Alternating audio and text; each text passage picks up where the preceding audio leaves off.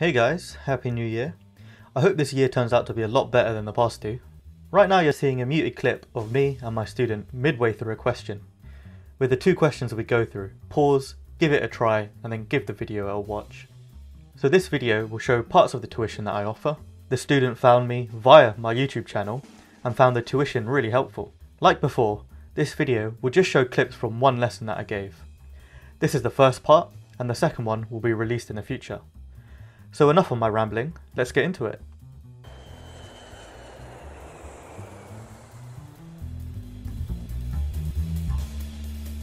An aircraft in position over HO, sounds like an NDB, and where Yankee Yankee Romeo VOR is at those coordinates there, and well, the VOR can be received. And it tells us the magnetic variation at HO and Yankee Yeah. Yankee Romeo. And it wants us to work out the radial from Yankee Yankee Romeo. Have you seen a question like this before? Uh, yes, I have. Yeah. Yeah. So what sort of approach would you take to start it? Uh, I'm not really sure because I've it's been quite a while since I Yeah. gone through the questions. So I just wanted to brush up on like how to approach these questions. Yeah. So, yeah. Well, as you can see from my like the YouTube videos I made, I like to visualize and draw things out as much as possible. Do you think that we can draw anything out here? Yeah, just their positions. Uh, uh, they're on different longitudes. Um, and on the no, sorry, different latitudes. Different latitudes, yeah. And what about the longitude? Um, it's the same. It's the same. So Yeah. does that mean one's left or right or one's above and below or Uh, above and below. okay, yeah. So which one's on top? Cho is on top. Yeah, and uh, There we go. H if I can draw correctly, HO and yeah, This is- at the bottom. yeah. Cool. And now we need to figure out sort of, well, where are we? Where's the aircraft? Right. The aircraft is over HO, so it's Yeah. there. Yes, over there. And we're reading the radial from Yankee Yankee Yankee, Romeo, Yankee, right? So if we look Yeah. at the answers, well, because the variation's quite big, it's fair enough. But like, Yeah. if let's mm-hmm. say there was no variation, do you know what radial we'd be on? Yeah, zero zero zero. Oh, yeah. six zero. Yeah, Yeah. exactly. So we're like on a northerly one, right? And now we need to figure out how do we apply the magnetic variation. Right. Uh, Yeah. so the variations at the VOR. Yeah, and that one's 28 west. Oh, sorry. So yeah. yeah, that's that's the key point Yeah. really, isn't it? it? Is that Yeah. from this question, you don't do the variation sort of where you are, you do it where the VOR is, or you know, yeah. right. So then what sort of method do you use to convert? So if it's west, so it's magnetic best. So I add it to the Yeah. Yeah. You use that saying. The way the way I do it is using the, this thing. Have you seen a CDMVT before? I have, yeah. Yeah. So I'm not really sure how to go about. Okay, So, so yeah. this is another way of doing it. I mean, west is best, east is least. That still sort of works. But when it becomes into the numbers, for example, plus Yeah. or minus, do you know how to use it then? No, not really. Oh, okay. So let's actually go over this quickly because this is to do with um, actual latitudes and longitudes. The reference frame that we know we're in is like true north. Well, to do with true bearings, right? Because it's to do with Right. latitudes and longitudes, nothing magnetic. And we know we're exactly 360 degrees or, you know, zero degrees. Yeah. And then if our, like you said, the variation we're going to use is 28 degrees west. Right. What we do is think about if the, for example, this is going west, right? And this is going Uh-huh. east. Right. If we're going in this direction to get to the magnetic one, we can see that this Uh-huh. one and this one are the same. Yeah. So we add it. Okay. So for if this one was, uh, if this was east, right? Right, yeah. Then this and this would be opposite. Right. and then we'd subtract. Um, yeah, so that is just the direction in which you're going in because we're going to the left, right? And because it's west, we add. So we get to zero to eight degrees. Yep. And if we had the same with, let's say, in numbers, as in plus or minus, you know how like um, in most uh, languages, when you read, you go from left to right. So going Yeah. from left to right, you would just add, or right to Yeah. left, you would subtract. But that becomes a bit different. For example, let's say we had um, 90 to degrees here, and then a minus five. You would just do what the symbol says if you're going from left to right. So this would become 85 degrees. Okay. Yeah. And if it was plus five, it would become 95 degrees. So you do Okay. like normally what's expected, you know, when you go from left to right. But if we go the other way, for example, 95, and this is plus uh, five, we got to do the opposite because we're going Okay. right to left. The Right opposite what the symbol says. Yeah. So Okay. get back to 90. And like we said before, this way, you, you just do what it says. Yeah. And this way, you do the opposite. Do the opposite. Yeah. Have you seen CD MVT before? I have seen it. Yeah. Yeah. And you know what the CD part of it is? Uh, the compass setting. Yeah. Um, the deviation. Yeah. Cool. And it's the same thing, you know. The MVT is just a bit shorter there.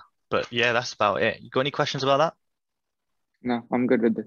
Yeah, thanks. Cool. Before we get into the next question, if you think this tuition would be helpful for you, send an email to approachatpl at gmail.com and I'll get back to you as soon as possible. Just in case you forget, I've also left this email in the description. Okay. Yeah. So we've got an aircraft at that latitude, two degrees and 20 minutes north, and it tracks 360 degrees true for 685 kilometers. It wants to know what is its what is its latitude at the end of the flight.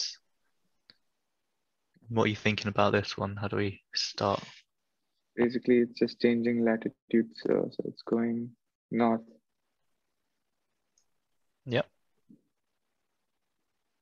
And so what is the latitude at the end of the flight? So each degree of latitude, mm, if I'm not mistaken, I, I don't really remember. Do you remember how like a nautical mile is defined? Or was defined? Uh, 60 degrees. Uh, It's one minute. one minute. is, One minute? uh, Yeah. So here we can see we're at latitude and we're going north. Doesn't matter if we're going north or south. If that means we're going along a meridian, right. Right. And there's one fact about all meridians. They all are a certain, they all have a certain property. Do you know what that is? Um, great circle. Yeah. Well, Yeah. yeah, that's the main important one. I mean, the, the rhumb lines as well, because the definition of a rhumb line is that, you know, the track doesn't change. I mean, yeah, but the more, Okay. Mm-hmm. more, yeah, the most important thing is it's a great circle. And Right. all great circles on the globe have the same sort of circumference, don't they? Yeah.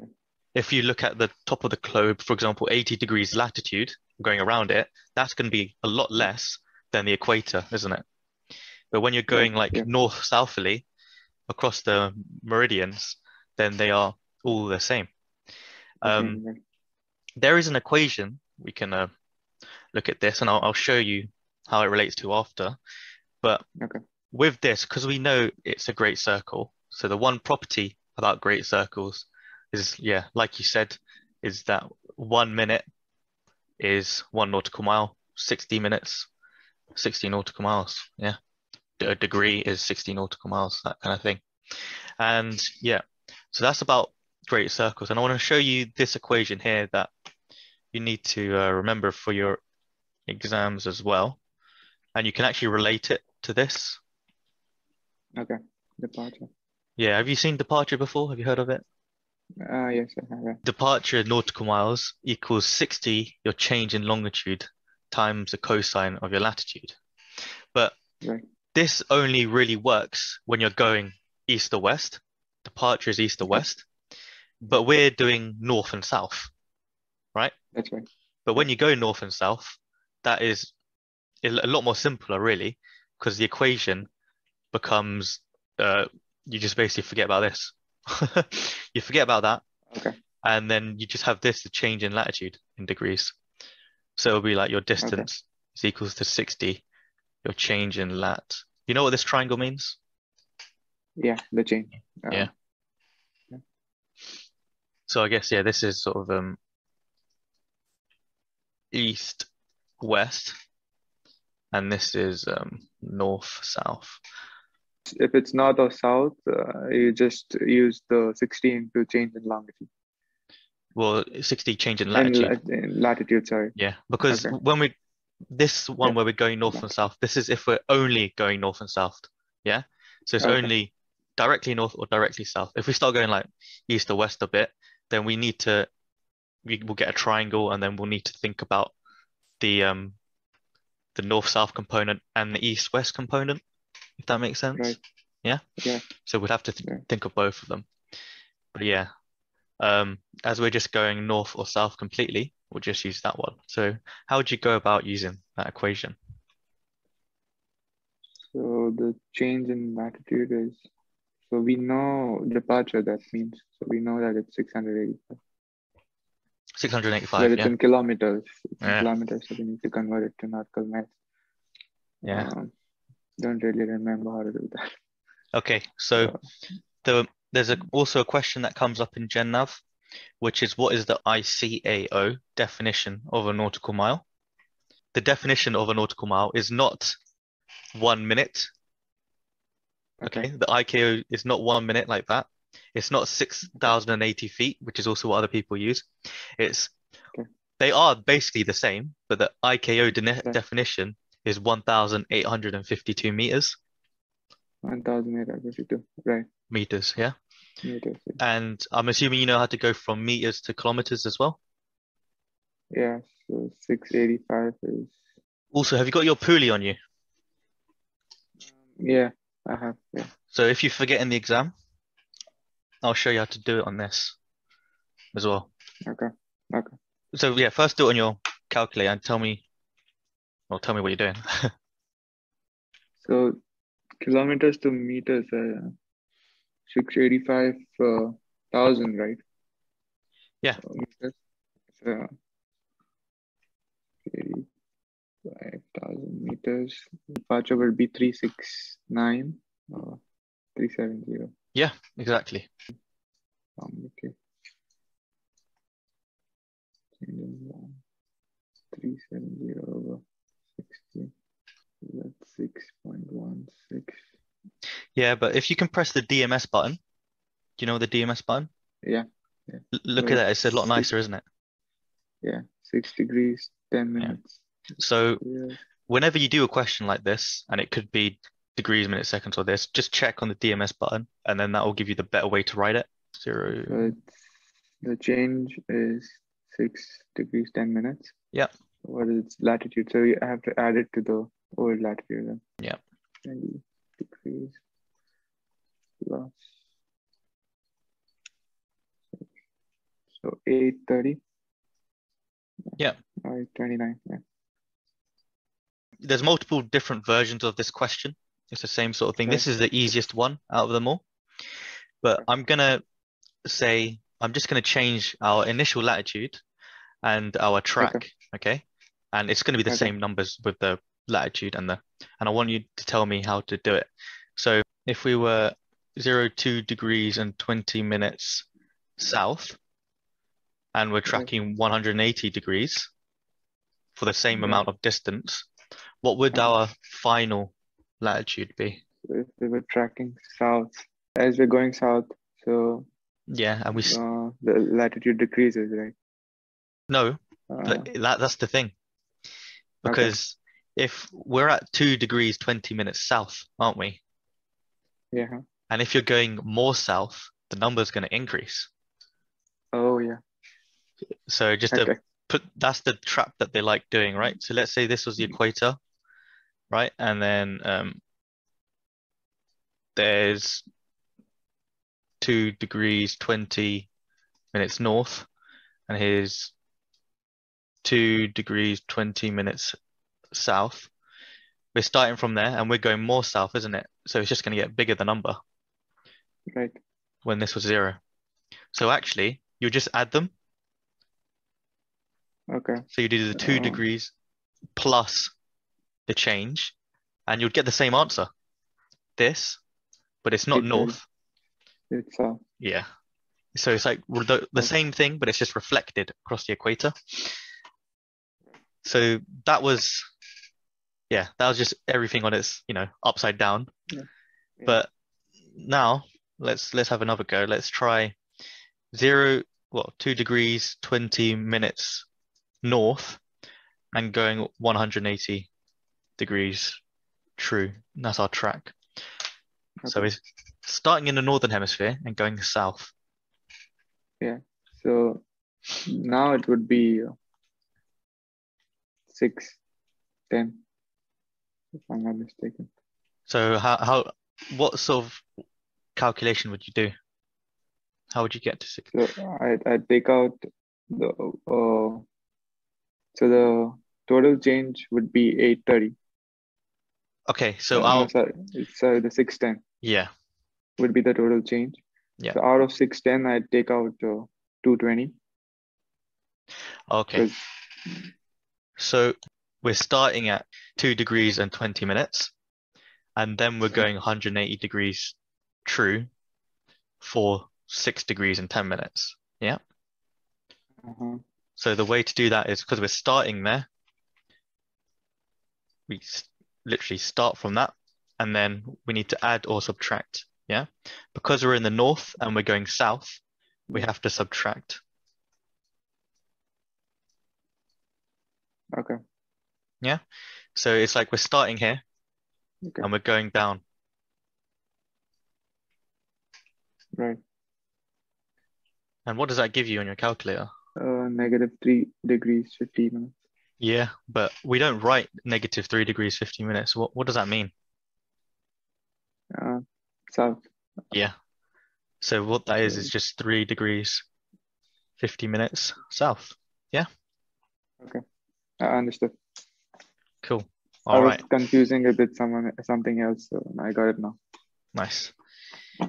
All right. So if you get your Pooley, and this is just to convert, right, between units. So here we had that 685, Kilometers. 685 kilometers, and we want to convert that to nautical miles. So you see at the top of your Pooley, it says kmm liters. Yeah. Yeah, those are all the um, well, system international metric units, really. Those are the nice ones. So what we do is just put what we got underneath there. We don't have 600 and something, but we've got 660. Can you see that on your inner scale on the Pooley? Yeah. 60. And then you put Yeah. the 68.5. Right. You put that underneath the kilometers, so underneath the the arrow, which is at Right. 10, near the 10, yeah? Yeah. Yeah. And then you find the nautical mile arrow. Don't so you keep it fixed like that. You don't spin it anymore. Okay. And you can see on the left, there's that nautical mile arrow. Yeah. Yeah. And then you see on the inner scale, it lines up with about 300 and, well, 37. Yeah. Thirty-seven. So But it's, three-seven. yeah. Three-seven. Six- Yeah. Yeah. 68.5 gives you 37. 685 will give you 370. Yeah. Okay. Oh, that's cool. Yeah. No worries. I'm, I'm actually making a um flight computer course as well Oh, on how cool. Yeah, but it's going to be quite a while till that comes out. So I don't know if it'll Yeah. help you how, how you're doing it, but um, it's just it. You know, I like when when I'm teaching and showing people things, showing backup methods, multiple methods. You know, Yeah. oh, you, you forgot one thing. This is another way you can do it. You know. Thanks for watching my video. If you want to see more things like this, please like and share the video with your buddies and the communities you are within. I want to spend more time doing things like this so I can release more videos and improve the quality of my content, but can only do that with your help. Thanks again and see you soon.